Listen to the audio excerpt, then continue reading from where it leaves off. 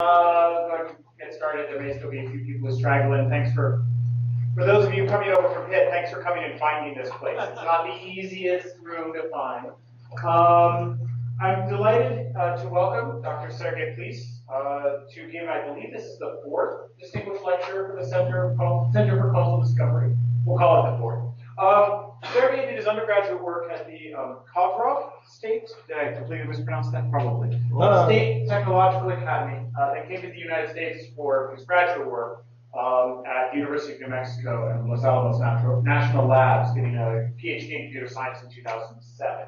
Uh, he is now an assistant professor of translational neuroscience uh, and director of machine learning and neuroscience at uh, the Mind Research Network in Albuquerque, uh, as well as the Vice President for Research at Datalytic Solutions. Happy to say that precisely because I didn't realize your titles, and uh, they're, they're, impressive.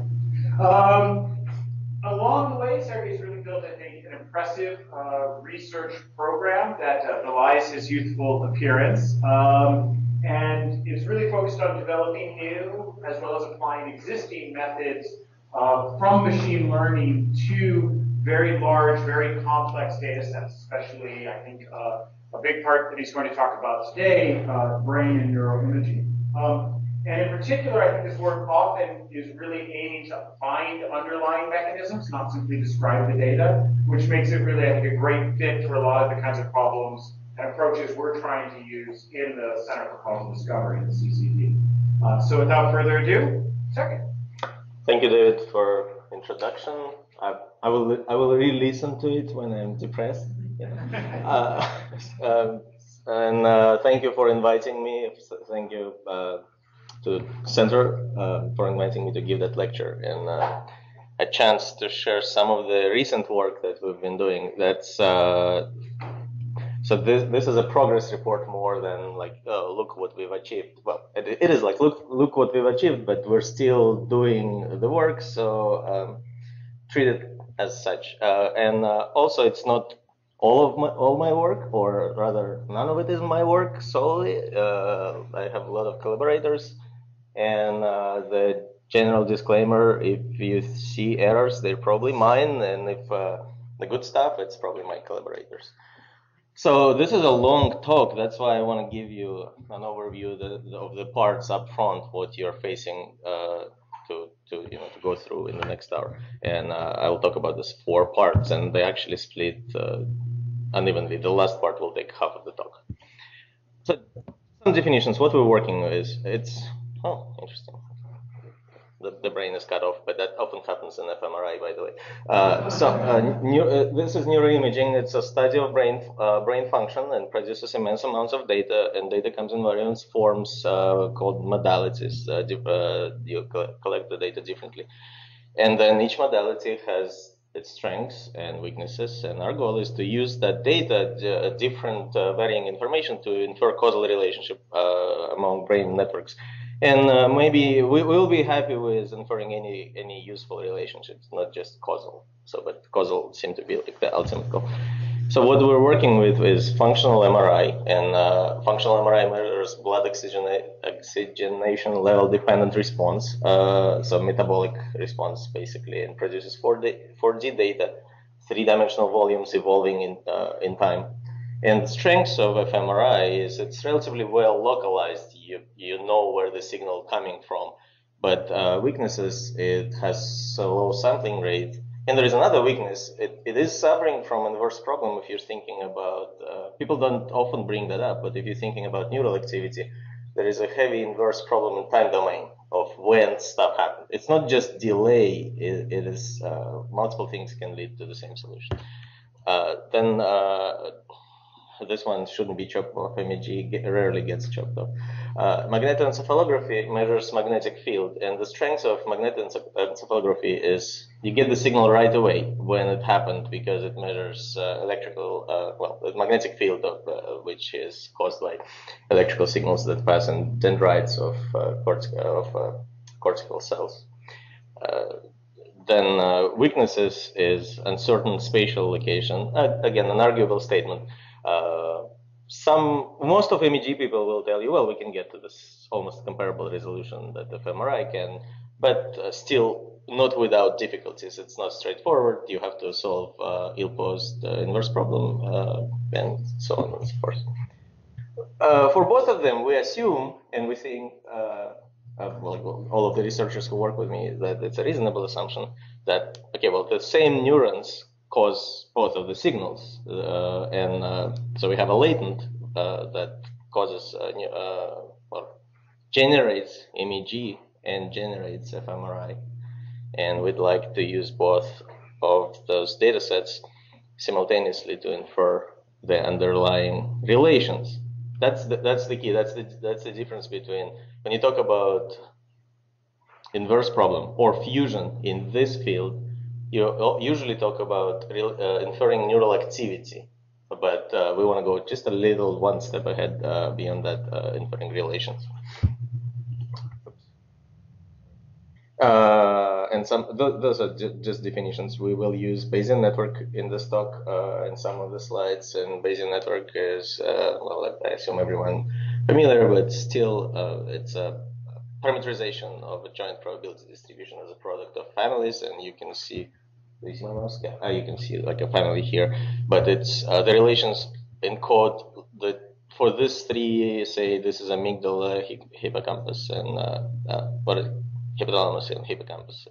It's not just pairwise relationship. It's got, it's a nonlinear joint distribution uh, of the three, and uh, this is what we'd like to learn. And this was one actually from real data uh, from in the brain space from the top.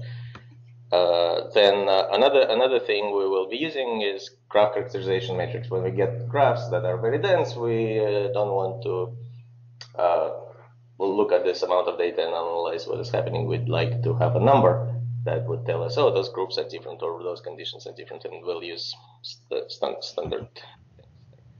So, uh, some some people or often people say, well, uh, multimodal analysis is nice, but we can live without it. We can get something more than we have, but we don't really need it if we're learning something about the brain.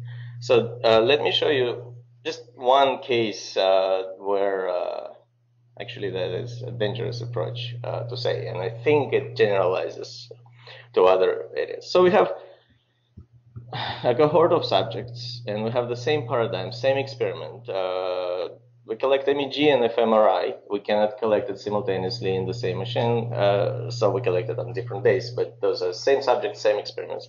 And we analyze or process that data as, as close as we can to get a similar uh, out, output of pre-processing as we can.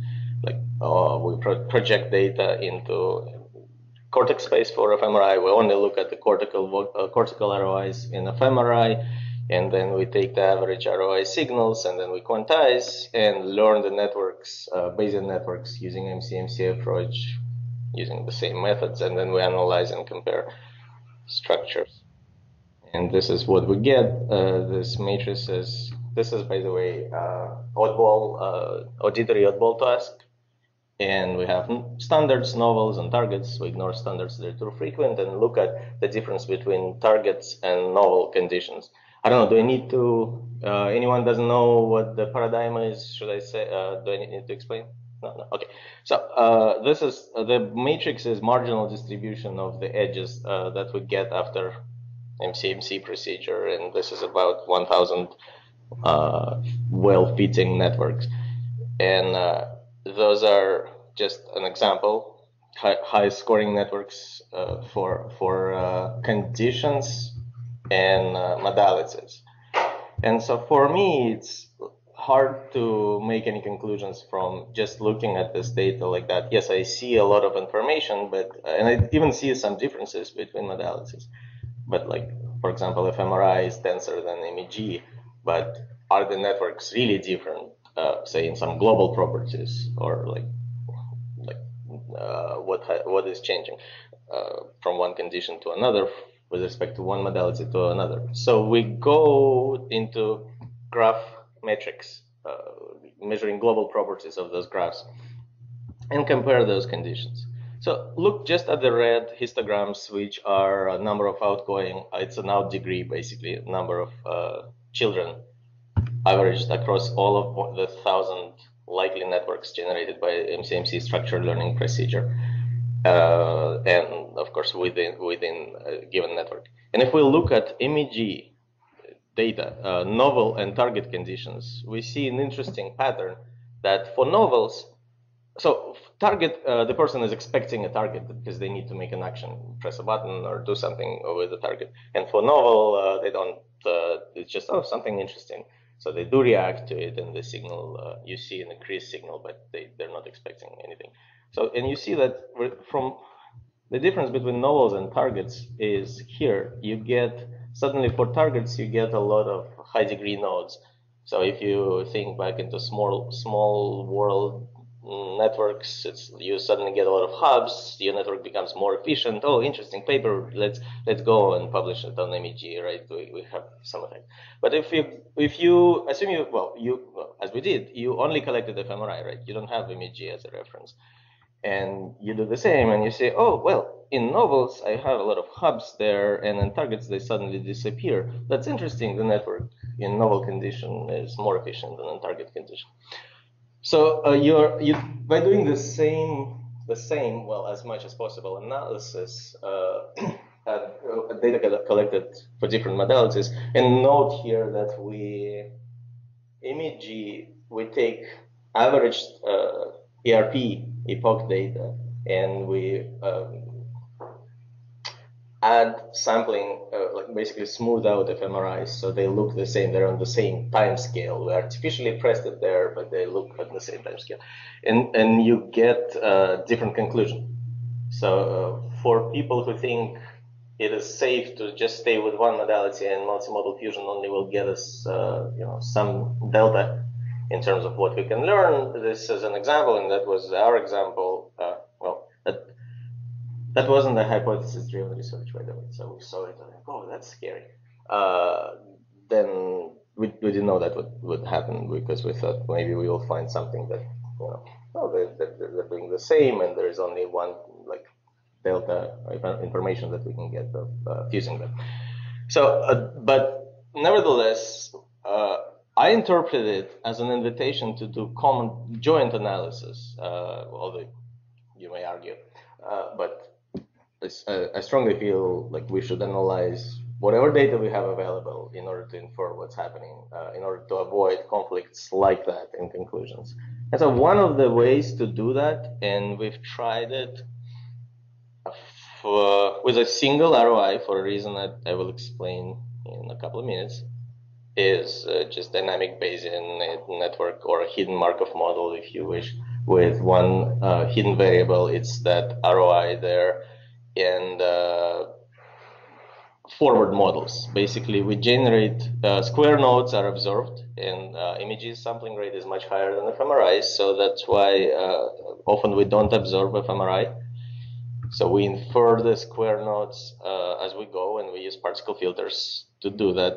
And uh, for MEG forward model, it's it's an easy linear transform after you know the locations of voxels or of dipoles in the brain, nonlinearity goes away. It, got, got, it, it gets absorbed into the matrix. Uh, it's a simple forward model here, but for the bold response, it's actually a differential equation system, original differential equations, four of them. So it's kind of another dynamic Bayesian model built built in there, and um, we get interesting results. Uh, we have tons of simulations, but I don't have time in this talk to talk about them. But this is real data, just this one ROI. And if you have fMRI only, this is how you estimate, uh, how the model estimates the underlying neural activity. And this is a flickering checker, uh, checkerboard stim, uh, stimulus uh, experiment, just one subject, uh, one experiment. And this gray bar there is when the checkerboard was flickering, basically. So if you if you apply the same model to uh, bold resp- to just MEG, you already see some activity here, but obviously the model doesn't track the bold response. And it doesn't track the bold response because we don't know hemodynamic forward model besides having four uh, differential equations, has seven unknown parameters that are different. So we, we estimate those parameters together with the model. And uh, since it's not constrained by the ball, uh, those parameters uh, just fluctuate away, and it doesn't doesn't model doesn't represent bold activity well. But when we have both of them together, it tracks bold activity and kind of reduces the noise in estimation of uh, MEG and fMRI. So kind of nice, but uh, not related yet to learning uh, causality, right? We, or any relations. We're doing it with a single ROI. So the natural next step is scale this up. Let's throw 64 or whatever ROIs, like the, the, the ones that I used in the previous experiment, and use them together. But it's not just 64 ROIs. It is uh, each each forward uh, fMRI model has additional four uh, ROIs and seven unknown parameters. And then if you think about the way we estimate that model with particle filters, uh, you need exponentially larger number of particles than the parameters in the system, and we quickly choke, and um, like the system saturates, we can't do anything computationally. Well, at, le at, at, least until now, I don't have, well, like, by the time we got this result and we needed to scale it up because that was our natural next step, uh, we, uh, like, I couldn't get it to run.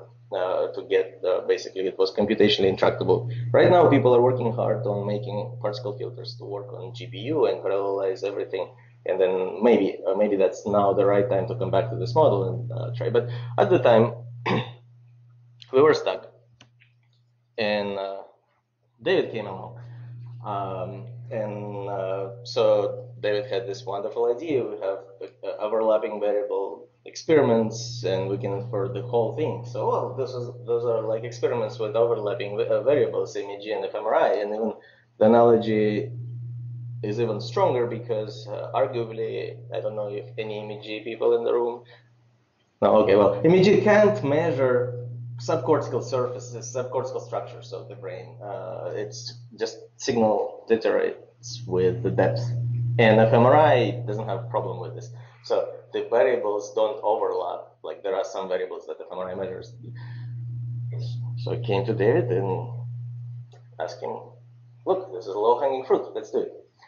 But turn, turned out uh, the thing wasn't that easy, and uh, David uh, gave me tons of arguments that why it wouldn't work. And uh, one of the biggest arguments was, well, they they're collected at totally totally different time scale, and uh, we don't know what happens to causal systems when they are measured at different time scales, estimated at different time scales, and how to merge those things. Are they even mergeable? So here's the here's how this came uh, uh, and uh, well, we needed a theory because turned out that we couldn't just Google it and oh, this is how you collect the data on slow time scale and infer what happened the, at the faster time scale. So we need to think of it about ourselves. And here's what we're talking about here. Neural activity, about 100 milliseconds uh, time interval. That's when the signals pro propagate. That's when it happens. And then the FMR and uh, MEG measures it right there. It's it can can do kilohertz easily. And fMRI, it's about two seconds. Although right now you can do it faster, but because there are certain uh, con convolution effects there in hemodynamics that wouldn't necessarily help. And we want to infer this uh, interaction of the ROIs and the network. And all images are uh, borrowed from the web. If you see yours, please uh, take it with understanding. So, uh, so what, what causal inferences can be made in this situation? What can we do about, uh, you know, collecting data here and uh, inferring something about causal interactions at this time scale? So two challenges. One, uh, the easier one, but necessarily, it's the forward challenge. If you know the interaction causal network at the true causal time scale, and I will tell you how much I've undersampled, can you tell me what the network will look like? And another is backward inference. Oh, look, we collected some, some data. We don't know how much our uh, measurement device undersamples, and then we inferred the structure. Can you tell me what our uh, what what is the ground truth or what could have generated it? We went with uh, the following dynamic uh, Bayesian network representation. It's first order Markov causally sufficient and uh, yeah, no isochronal edges. And I can justify each of the assumptions, uh, but because, for example, we're saying no isochronal variables because we can always say that the true causal time scale is fine enough that uh, we we don't nothing happens instantaneously. There is there needs time to, for propagation. And then uh, first order Markov is we're assuming me memoryless system. So in order to transfer something across the time time uh, step, you have to store it somewhere or pass through some other variable. So that's that's our model, and as you see, it's uh, stationary uh, across time. There. So here's what happens with uh, the ground truth here at uh, time scale one, the true causal time scale, when you do sample by two, by three, by four, and so forth. So as you see, the network gets denser and it changes, and I'm not showing all of the edges here. Uh, there are isochronal edges.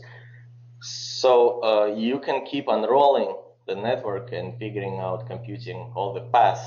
Basically, an edge here is a path of length three in the network that you unroll, uh, in the true network that you unroll. But we found that it's much easier and more convenient to work with this representation, uh, with compressed representation. So in the compressed representation, we know we're operating at first order with first order Markov assumption. So each arrow here is from past to future.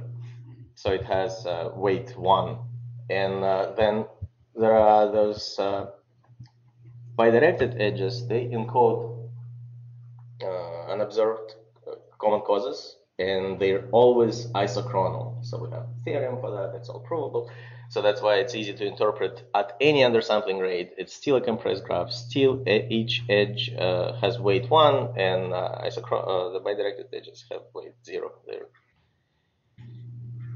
so uh, looking at this representation, at the compressed representation, is very helpful because you immediately see patterns or classes of graphs with respect to their undersampling behavior. So if your true graph is a compressed graph uh, is a DAG, it doesn't. It, it is even if it's a DAG in the dynamic Bayesian, uh, the split steps uh, sense, it will always be a DAG. It's forward influence. It doesn't have to be a DAG in the compressed representation. But if it is still a DAG, here's two possibilities that happen under undersampling. One is that at a certain rate, uh, everything becomes independent. You will not be able to detect dependencies. And another is no directed dependencies, and all dependencies that you can see are undirected. And there is another case if we, so here's you, you, you see cycles, but they're all time resolved cycles. Right? Uh, interesting structures are strongly connected components, and uh, the strongly connected component here has this particular property, if you look at all of the simple loops within the strongly connected component, and any strongly connected component can be decomposed into a set of simple loops, the loops that, that don't come from the same node second time, just visit a node, uh, each node appears just once on, on the path, on the circular path. So look at all of the simple loops at their length and the greatest common divisor of the length. If GCD is one, then uh, component will collapse or converge into a superclique when every edge is is there, every possible edge is there. If GCD is not one, then depending on how much you undersample, you see repeated structures like with this guy. So this is the true graph. This is undersampled by two, by three, by four, by five. Again, you see the same graph and so on. So uh, this is the forward model, right? And now the task is, uh, the task is not, well, now we know some of the classes of behaviors, uh, how, how the true graphs look like, and uh, what, what does it mean, how they will look like un undersampled. Uh, but the task is to go backwards. Okay, here's the graph that is measured. Can we uh, say something about it? If you notice that a super superclique graph, for any strongly connected component with GCD of one, they all will look as a superclique at some point, right? So there is uh, uh, underdetermination uh, of, of, some sort. You, you, you, can have many solutions that generate or are, can generate at some undersampling rate the same graph. And uh, then for a known undersampling rate, we found it very hard initially to even think about the problem, how do we backwards. So we decided to focus here on the simple problem. I assume we know that it is undersampling, undersampled by two. So it's just one time step uh, from the true graph. What can we do there? And if you notice, so here's the graph that is the true graph at the true causal time scale. And this is its version, or I mean, there is one, uh, this is one-to-one -one, uh, relationship in that sense. If you have the graph, you, you know this is how it will look at the next time, time step, right? So if, if you undersampled it by just one. So th this is the G2 version of this graph. Then each edge here is actually a path of length 2 in this graph. And this is what those nodes represent. We know there is a node here, but we call it a virtual node because it's one of those uh, other nodes. We just don't know which one. And so mm, simultaneously merging them uh, in such a, in such way that the resulting graph will generate this graph when undersampled by one is what we're what we're looking for. So for uh, one to one loop, right, this one with this virtual node, those are the options to merge the nodes. So uh, here's a useful lemma. Well, uh, it was a long lemma, but I decided to shorten it. Conflicts persist, basically. If you if you started adding, if you took an edge and a virtual node and say, okay, one to one, one passes from through three and come back comes back to one. That's my option. And then you've tested it and like, oh no, wait, it generates an edge that is not present here. Then that that's the conflicts persistence uh, lemma that says, okay, if, if you've generated a conflict like that, that uh, a version of G1 that you've tried generates extra edges with respect to uh, G2, the ground truth G, 2 the measured G2, then adding more edges uh, wouldn't, wouldn't remove that conflict. You will still be conflicting with the graph. That's kind of obvious thing. So here's the, the brute force, or not brute force, this is a just a natural algorithm to pursue in this case. So we have to explain h1 and 1, 1 and 2, and so on. That's the table that you've just seen. We start with an empty graph. And one and oh, edge 1 to 1, the self loop has three possible candidates there. So we've tried uh, we, we, have tried each of them, but in the depth first manner. We've, we've tried one to one to itself, and okay, it doesn't generate any conflicts. And then we've tried the next edge. we were explaining one to two edge. And for one to two, we're saying, okay, one goes to one and then goes to two. And we, uh, we're building, uh, iteratively building up that graph. And this one doesn't have any conflict either with the ground truth graph. Well, then we go on one step more, we generate a conflict, uh, remove that edge, backtrack, try the next option, and so on. A kind of straightforward algorithm, and it's uh, correct and complete. It can it can generate everything, and it will find the solutions that are there. Uh, if it would wouldn't be slow, we were done there, but it was well very slow. So we needed and uh, the speed, the efficiency of that algorithm is explained that we for n nodes we're trying uh, n nodes for each edge so it's n to the e complexity, uh, the space of possible candidates that uh, we need to try. Then we went with additional constraints, uh, or uh, rather alternate constraints. Instead of trying to explain each edge in G2, we noticed that there are certain structures that induce much more constraints much faster than just going edge, edge by edge. For example, this path, uh, the path implies that any two candidates for merging here must have a uh, directed edge between them. So we can only try those that have uh, in in G2 in the measured G2 that have an edge from here to there, and th those are the pairs. But then if you look at forks at uh, well, like this is a fork, it's just a graphical definition to save time. So there is only one candidate to be to be used for those two virtual nodes, and so on. So this this from from depth uh, excuse me from depth five, we reduced our exponent to depth three, and also our possible candidates. You can see them here.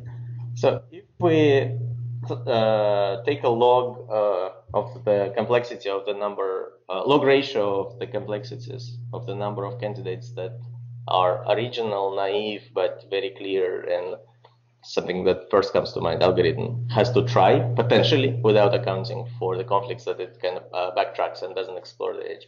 Then uh, this is log ratio between our new algorithm and the old algorithm. It's basically for each depth here is whatever number of candidates uh, are there. So if we if we do that and uh, we we tried for 100 random graphs, for uh, 8 node graphs, and for 10 node graphs. And this is log base 10 axis there. So you can see the magnitude, uh, the, the order of magnitude of improvement.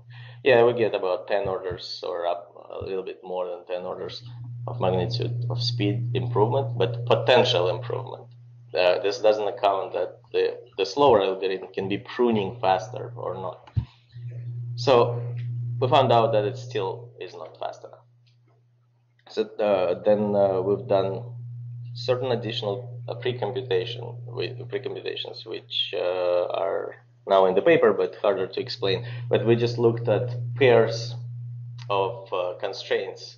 So we've done some quadratic checking and pruning and uh, employed additional constraints. What it leads to in the running example that was, I was showing so for this particular graph, you only need to try those candidates. That basically means just construct the graph. You get the solution right away. Your, your branching tree turned into just a sequence from top to bottom. And what it means in terms of, well, the, we, yeah. well, I want to show it, right? It's not that just that, but there were some lemmas that we had to prove uh, to constrain the problem further and further. Uh, so exploiting the structure of the problem heavily. And that allowed us to theoretically get to up, up to 30 magnitudes improvement in speed. If, if you, the space of possible candidates that the algorithm would check is 30 orders of magnitude smaller in the new version of the algorithm compared to, sorry, naive uh, but clear approach. But in practice, you only get in the medians about one to two order of magnitude improvement or five orders of magnitude improvement in actual running time for uh, some outliers, unfortunately 10% of researchers who will have to wait, you know, eight hours rather than 300 milliseconds. But uh, well, that that's some ability to run everything and have upper bound in 300 milliseconds for eight node graphs is uh, helpful, and I will show that uh, later. But now, when we have an algorithm that you have collected data, estimated a graph, uh, G2, uh, undersampled by 2, and it gives you an answer, the question is, well, what will the answer be really interesting or useful? So assume a researcher goes to the lab, collects the data, estimates a graph, and goes to our algorithm. We return 300,000 of possible candidates that could have generated a graph. That wouldn't be really helpful for researcher, right? They, they would rather go and you know go to conferences and literature and prune the graph with constraints from there rather than looking at our candidates that we generated. But if it generates one, two, three, ten graphs, then maybe they can just look at them and say, okay, well, I have a prior, some kind of prior knowledge that didn't go into my data collection or didn't go into into the graph construction, which is like, oh yeah, this graph makes much more sense. We don't know. So this the we want, we want to study the effect of undersampling on the equivalence classes. And equivalence classes here are not your Markov equivalence classes. Uh, if you uh, used to think about uh, causal graph. So what, what we define there is given a graph, uh, undersampled graph, you don't know undersampled. Any graph that is consistent, any graph at G1 at the true time scale that is consistent with this graph that can generate it at some undersampling is within its equivalence class. For this talk, definition shrinks even further because we go, we're looking at just one time step. So anything at, uh, so given a graph at G2 the ground truth, anything at G1 that can generate this graph with one undersampling step is within the equivalence class because they're equivalent to this procedure. So we went ahead with just six nodes because it's uh, computationally efficient and we can do very dense graphs. And we generated 100 graphs for each of the densities ground truth density, and the density is de defined as number of possible uh, uh, number of present edges to the number of possible edges, and there are n square possible edges here, and 20%, uh, 25, and so on so forth. So uh, this the height of the bar is 100%, so 100 graphs that we've tried random graphs. This is one particular example for each density and what it leads to when it's undersampled. And uh, the color and the numbers uh, down here uh, for the color, they just indicate how what is the size of equivalence class. For example, for 20% density of six node graphs, the size is 90, 98 out of 100 graphs just have one unique solution. And that happens very often up to 35% density, and then you still have unique solution. And surprisingly, even for 45% uh, density, when your measured graph is this, it's like almost every edge is present. Well, some edges are missing, like one edge is missing here uh, in this graph of 97% density. And then you get more than, we, we, uh, we cap the algorithm, we stop. After you get more than 1,000, we seem it's just uh, not fair to give researchers this output and let them analyze it. Uh, so you see that, uh, surprisingly for us at least, that some of the solutions, well, uh, for a, for a lot of uh, practical densities, we have unique solutions. So it's just one graph. So you you you, you have it. So and then we stop we stop at the 30% because for computational reasons and uh, also well you, you get more non-unique solutions why to look there and this is an example same example eight node graphs uh, same uh, encoding you, you get a lot of unique solutions up to 30% density. And then you get two uh, equivalence classes of size 2. That's still useful, right? You can you can look at the researcher that collected the data can look at the results and say, oh, okay, well, I may collect more data or I may change my undersampling rate uh, my, uh, or get a better measurement device, basically. And uh, so on. Like everything here uh, for eight node graphs, random, strongly connected components is interpretable still. Then for, for 10 node graphs, uh, we get more var variability in equivalence class in the 30%, but let's uh, look, this is all under a minute computation for 10 uh, node graphs, and this is how a 30% density 10 node graph looks like. Uh, we can go for 15 nodes to 25% and further, uh, but it still, it becomes computationally intensive there, and this figure explains why.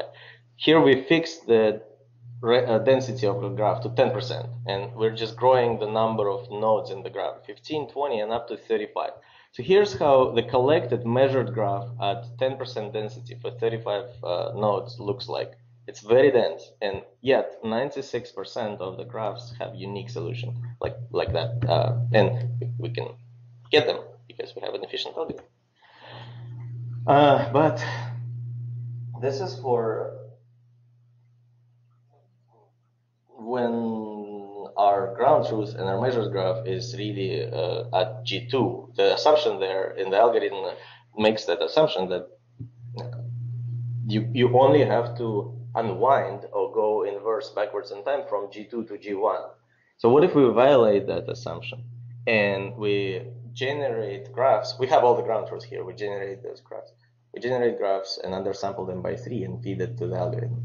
So conveniently, the algorithm often uh, those 100% and 95% doesn't return a solution. So you can possibly detect violation or your of your assumption about how much you've undersampled by running that algorithm.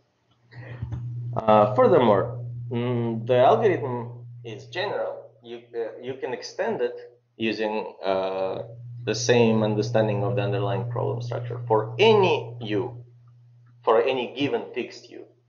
It's if you don't care about waiting exponentially long, then it would work. But it also it, it works quite well for small number of graphs, small densities, and uh, numbers up to five we can go.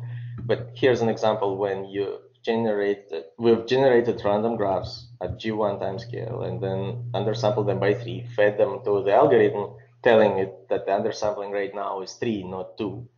And uh, the algorithm found solutions and uh, less unique, but still similar pattern. Up to 30%, you have a lot of unique single uh, singleton solutions, singleton equivalence class. but that was sort of the uh, studying structure of equivalence classes. And conclusions from there is, uh, oh, look, there, we were surprised that equivalence classes are so small and useful.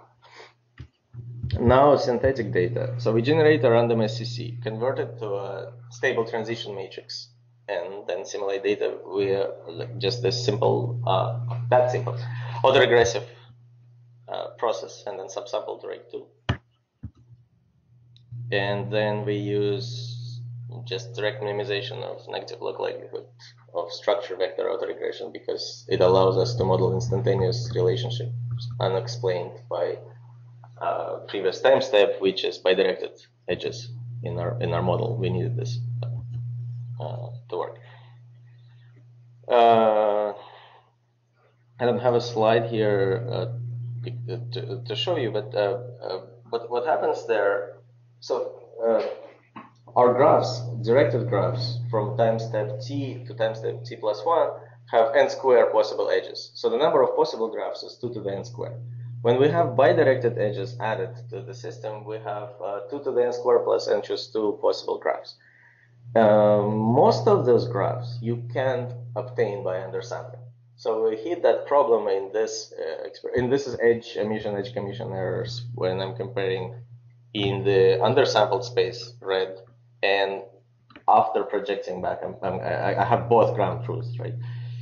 And so if we hit in this slide, when we hit a graph that doesn't have a solution, we run our algorithm, but it's just unreachable by the undersampling process. We discard it and restart until we find something that is reachable. And uh, that restart process was taking very, very, very long time, but uh, because uh, there are only few reachable graphs, as it turns out. And and um, like this, this kind of gives you a behavior still even that there. Like sometimes you have hundred percent errors, but uh, very very often you get something reasonable as an output. However, this approach by discarding your data or, or going and collecting new data is not viable uh, for actual practical use. Luckily, because we can run each run, this, those, those, those examples are for A nodes, so it's 400 milliseconds fast.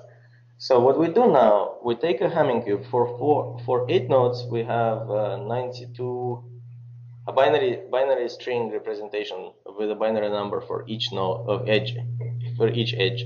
Basically, we search in the neighborhood on Hamming cube, running an algorithm on every neighbors one one step away, two steps away, three steps away, four and five steps away. And then most of the time we find uh, we don't need to restart.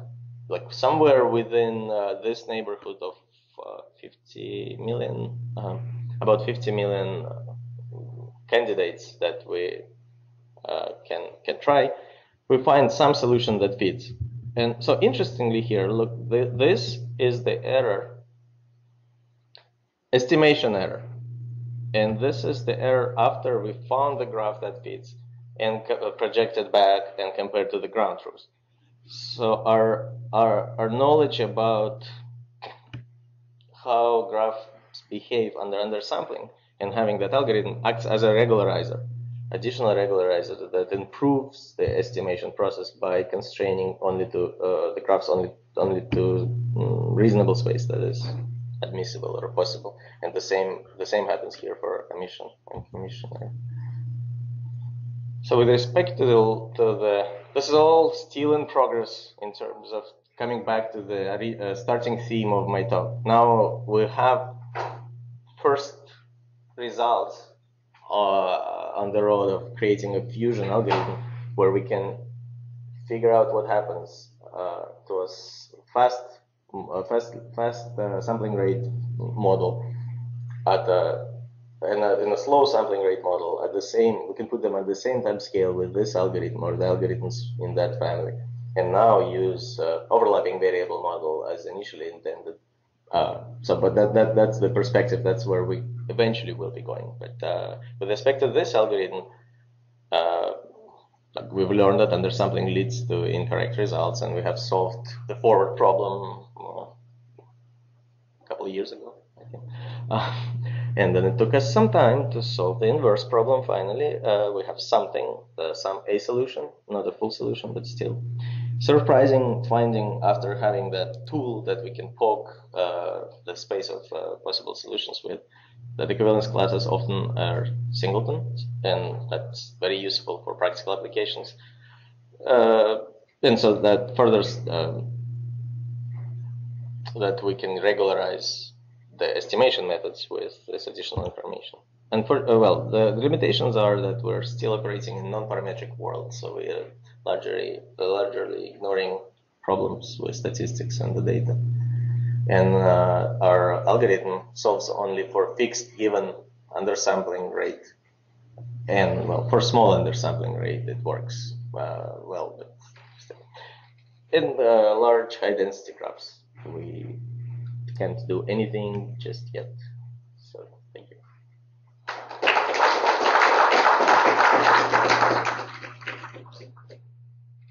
We have time for questions. Uh, so your original problem, the undersampling rate was like 200? Yeah. So does this indicate that's hopeless? Or, like, what, what do you make of your results compared to your problem? Uh, we don't, so it doesn't, like the, with fMRI, the undersampling rate is tricky because there are other things that affect it like probably the approach that okay the undersampling rate is the only difference between MEG and fMRI is not uh, a good assumption in the end. But it is a huge factor, and we need to solve it before you know trying to do something. Um, plus, right now for fMRI, at MRN we're collecting data at 250 milliseconds so that's undersampled by two, right? With 100 milliseconds for, uh, and yeah, like I can stop there, but it's cheating because, well, actually fMRI has other problems uh, besides just undersampling rate. Even when you have high sampling rate uh, for fMRI, you still hemodynamic effect. The convolution basically gets in the way, and we don't know yet how to handle it. But the original 20, 20 times difference of undersampling rate. It, we, we, we've overcome that now with fast collection, fast data collection, like 64, 32 coils scanners that can collect very fast. But still not at the true time scale. And we don't know 100 milliseconds. Did you notice all the, the approximate signs there in that slide? We don't really know what is the true time scale. So that's our next work that we're working right now. Can we be agnostic to the time scale, uh, like without knowing what is the true time scale or what is the undersampling?